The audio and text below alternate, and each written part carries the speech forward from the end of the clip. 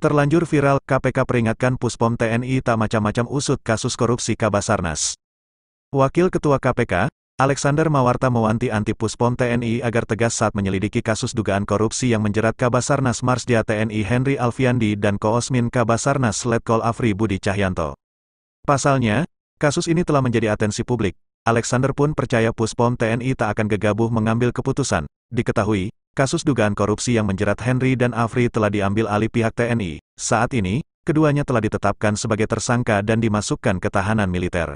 Apa eh, apa namanya itu jurisdiksi hukum ya, yang berbeda dalam hal ini eh, apakah eh, dilakukan menurut ketentuan hukum eh, militer atau hukum sipil maka itu bisa di lakukan secara koneksitas. Nah, sebetulnya di Undang-Undang KPK pun juga disebutkan, eh, saya kira teman-teman sudah banyak mengetahui ya belakangan ini banyak sekali ahli yang berpendapat kan begitu.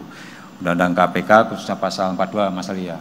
Pasal 2 di sana menyebutkan bahwa KPK bermenang melakukan koordinasi dalam hal penanganan perkara itu dilakukan secara koneksitas. Tentu ini yang harus kami bicarakan ya harus kami bicarakan dengan pihak Puspom TNI ya ini terkait dengan pembentukan tim koneksitas ya. kami juga ya oke lah secara undang-undang mungkin ya sekali lagi itu eh, kewenangan yang diberikan KPK berdasarkan undang-undang KPK ya tetapi di sisi lain, pihak TNI juga memiliki undang-undang tersendiri menyangkut penanganan perkara yang dilakukan oleh anggota TNI aktif, kan seperti itu.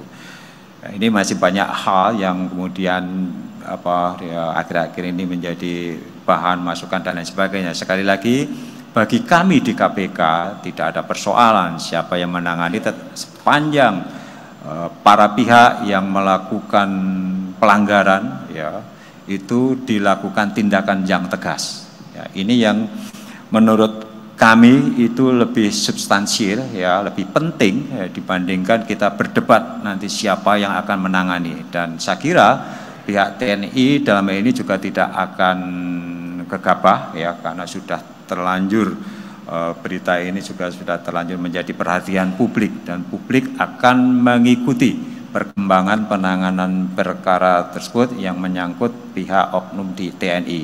Saya pikir itu yang lebih penting ya bahwa para pihak yang diduga melakukan tindak pidana itu juga harus mempertanggungjawabkan perbuatannya terlepas dari siapa pun nanti yang akan melakukan uh, penanganan perkara tersebut. Itu yang lebih penting.